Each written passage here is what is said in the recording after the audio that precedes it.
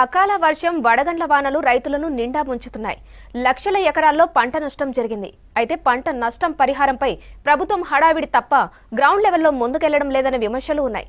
రెండు నెలల క్రింద ప్రకటించిన నష్టపరిహారంపై ఇప్పటికీ రైతులకు అందలేదని తెలుస్తోంది. ముప్పై మూడు శాతం పంట నష్టం వారికే పరిహారం అనే రూల్తో చాలా మంది రైతులు నష్టపోతున్నారు.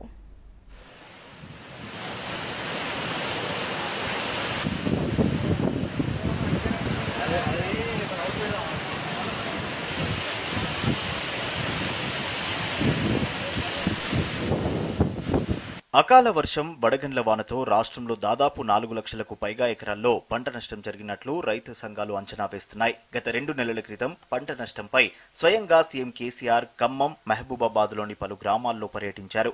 అక్కడే మీడియా సమావేశం ఏర్పాటు చేసి రాష్ట్ర వ్యాప్తంగా అన్ని జిల్లాల్లో నష్టపోయిన రైతులకు ఎకరాకు పదివేల చొప్పున పరిహారం ఇస్తామని ప్రకటించారు. కానీ ఇప్పటికీ అతీగతి లేదు.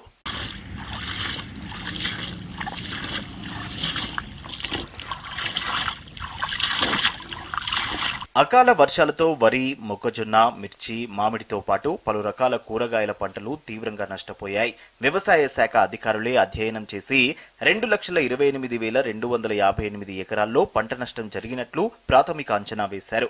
ఎకరాకు పదివేల చొప్పున లెక్కించి రెండు వందల ఇరవై ఎనిమిది కోట్లతో ఉత్తర్వులు కూడా ఇచ్చారు. అయితే ఆ తర్వాత మళ్ళీ దీనిపై సర్వే చేసిన అధికారులు ఫైనల్ రిపోర్ట్ పేరుతో ప్రభుత్వానికి నివేదిక ఇచ్చారు.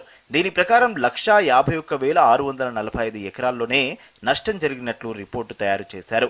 రాష్ట్ర వ్యాప్తంగా లక్షా ముప్పై వేల తొమ్మిది వందల ఎనభై ఎనిమిది మంది రైతులు నష్టపోయారని దీనికి సంబంధించిన తుది నివేదిక ప్రకారం నూట యాభై ఒక్క కోట్లు మాత్రమే అవుతుందనే సర్కారు నిర్ణయంపై రైతు సంఘాలు మండిపడుతున్నాయి. இல்லை இருபது ஞாபகம் அடுத்த அரை மாதம் சூழல் பண்ணுக்கு நன்றி நீ ஏசுவோம் கொஞ்சம் ஆட்டம் గత రెండు మూడు రోజులుగా కురుస్తున్న వర్షానికి మళ్ళీ పంట నష్టం జరిగింది. దాదాపు లక్ష ఎకరాల్లో పంట నష్టం జరిగినట్లు ప్రాథమిక అంచనా. దీనిపై స్పందించిన సీఎం కేసీఆర్ పంట నష్టంపై ఆరా తీయాలని పూర్తి నివేదిక తయారు చేయాలని సీఎస్ను ఆదేశించారు. పంట నష్టం జరిగినప్పుడు హడావిడి చేయడం తర్వాత ఏదో ఒక కారణంతో తగ్గిస్తుండటంతో రైతులు నష్టపోతున్నారనే అభిప్రాయాలు వ్యక్తమవుతున్నాయి. గతంలో ప్రకటించినట్లుగా నష్టపోయిన రైతులందరికీ పరిహారం ఇవ్వాలని రైతు సంఘాలు డిమాండ్ చేస్తున్నాయి.